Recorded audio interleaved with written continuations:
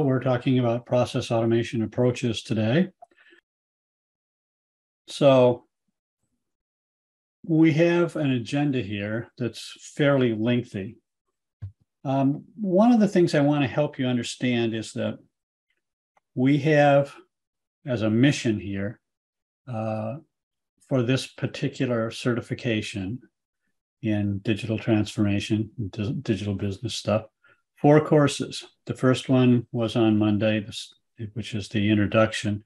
Second one was yesterday, which is low code, no code. Today we're talking about the uh, process automation, and then we have uh, the UI kind of things. So, um, helping you understand what we're trying to accomplish here, think of it as these fields are so large and so complicated and, and so rapidly changing that our mission, in our opinion at least, is to try to bring you what I call curated content. So there's probably nothing earth shattering that you couldn't find if you wanted to spend the time looking for it and consolidating it and so forth that you're going to learn today. But we've done that work for you and tried to put it in a way that makes logical sense and helps you understand if nothing else, when you walk away from this course, I'd like you to be able to have a conversation with your peers and others that you want to talk about these things with in an intelligent manner, which is to say, you don't just have to say, hmm, yeah, that's a word I think I've heard of. You'll have heard of the word and have a little bit of a, de- a sense of a definition or an introduction to it. And you'll feel some comfort in talking about some of these ideas, even though many of them are kind of leading edge. So that's what I'm hoping to do. How are we going to do that? Well, we're going to start with an introduction to process automation, and then we're going to look at the landscape surrounding how process automation has grown up. We'll take some time with pro- both process mining and robotic process automation, RPA.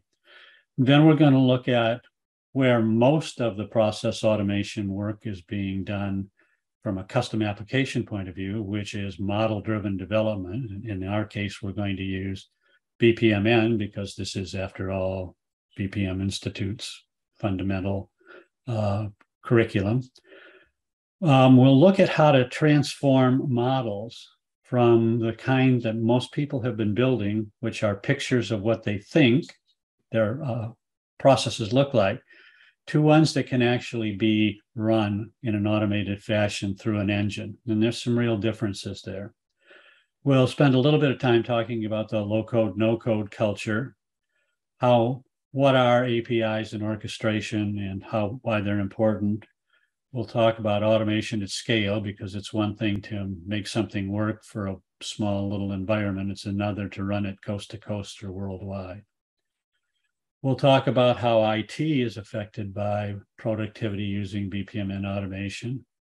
We'll take a brief look at the idea of minimum viable product development. And we'll talk about how citizen developers can be involved with model driven programming. And then finally, at the end of the day, we'll take a look at some conclusions and some suggestions about where we may want to go next. So, the specific course has some specific objectives. As I was saying before, the first thing we want to do is get you updated on the current process automation landscape. We want you to understand the place for hyper automation, process mining, RPA, and model driven programming in your organization, if indeed there is one. Better understand the current API forward development culture. The way we build programs is changing and it's changing rapidly. And the concept there is, is often referred to as API forward. And we want to delve into make or buy considerations for low code, no code um, as part of your automation process.